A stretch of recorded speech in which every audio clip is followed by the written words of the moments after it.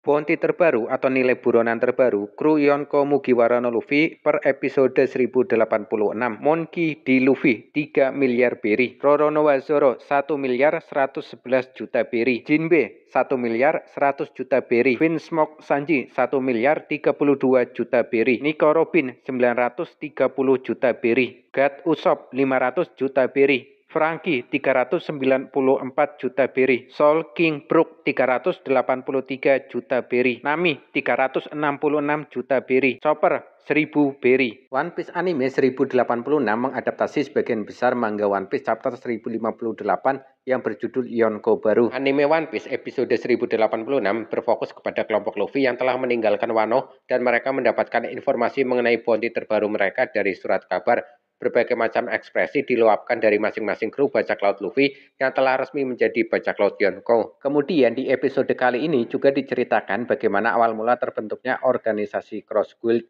Organisasi ini didirikan oleh Crocodile dan Takanome Mihawk. Namun karena semangatnya, kru bagi membuat, mencetak, dan menyebarkan poster Cross Guild malah membuat Angkatan Laut mengira Bagi adalah pemimpin Cross Guild. Crocodile dan Mihawk datang ke tempat Bagi untuk meminta penjelasan dan berniat menghabisi Bagi. Namun Mihawk memiliki pertimbangan lain. Akhirnya dia dan Krokodil berpura-pura berada di bawah komando Yonko Bagi agar bisa meleluasa menjalankan organisasinya. Dan Bagi tetap pada posisinya sebagai Yonko, namun di lain sisi dia tetap khawatir akan nasibnya ke depan. Apakah Bagi akan tetap dikelilingi keberuntungan?